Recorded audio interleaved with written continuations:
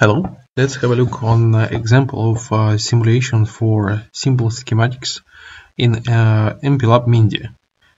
So this uh, software allow you to draw schematics and uh, simulate uh, signals. And uh, to start to work with this program, let's create new project by clicking on icon on top. So um, as a source generator, we will use uh, a waveform generator. You can find uh, this in place menu on top and then choose a voltage source and waveform generator. So you see the picture, we will place the voltage generator to our schematics and then we will add uh, three diodes. One, two, three. So we also need the uh, capacitor to filter output signal. And then we need the induction inductor.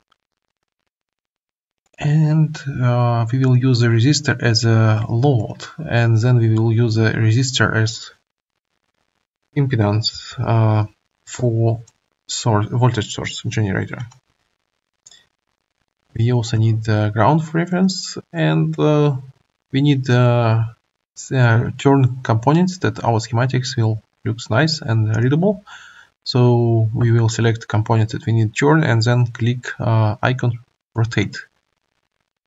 So rotate and then we will rotate another components.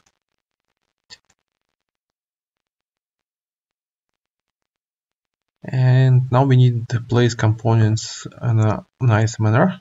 So just to move it a little bit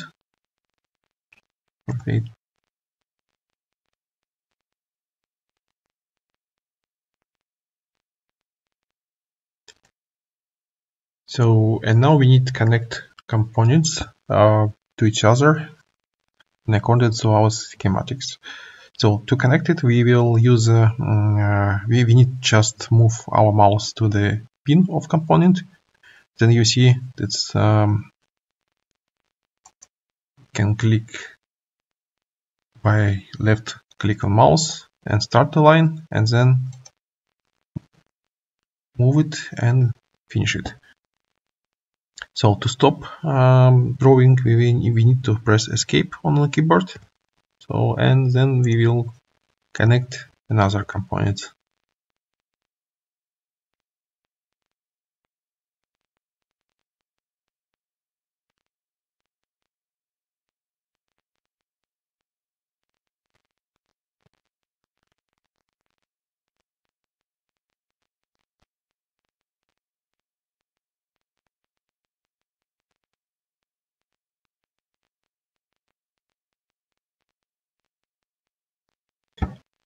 So schematic is drawn. Uh, now we has to change parameters of schematics. Let's reduce the load up to 100 ohms and increase capacitor up to 10 microfarad and increase the induct inductor up to, for example, 200 microhenry reduce the serial resistor up to 100 ohm and change diodes to more 160 for example as a more faster diode.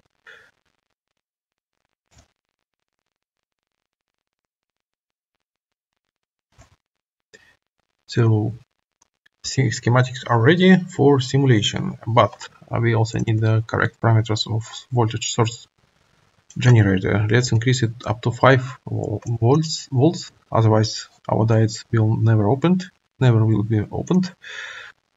So now we can start simulate, but um, we should define what kind of simulation. So um, choose a simulator, choose analysis, and um, click on transient mode. So we will use the transient mode. Other parameters are not important at the moment, so just click OK and we can start simulate just uh, run schematics and simulation has uh, is done so now we want to see different signals around this and this uh, schematics and uh, we need add prop probe, uh, voltage probe, and for example output voltage.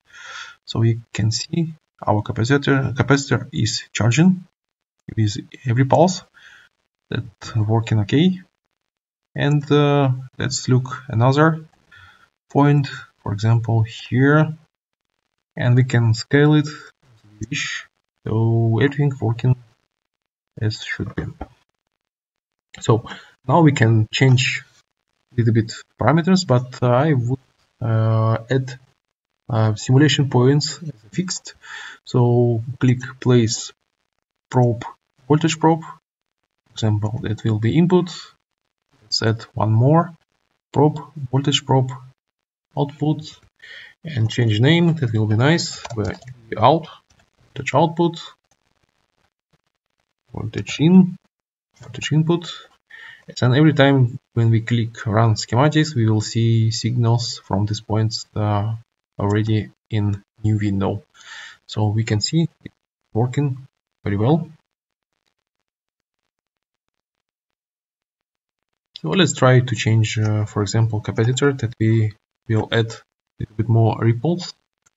So it will be 100 num nanofarads and uh, we will leave previous simulation in our window and just make new uh, simulation.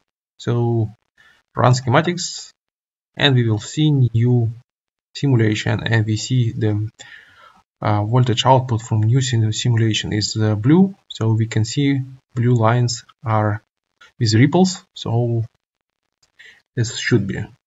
So simulation done very simple. Uh, example just to introduce you how it's working a little bit.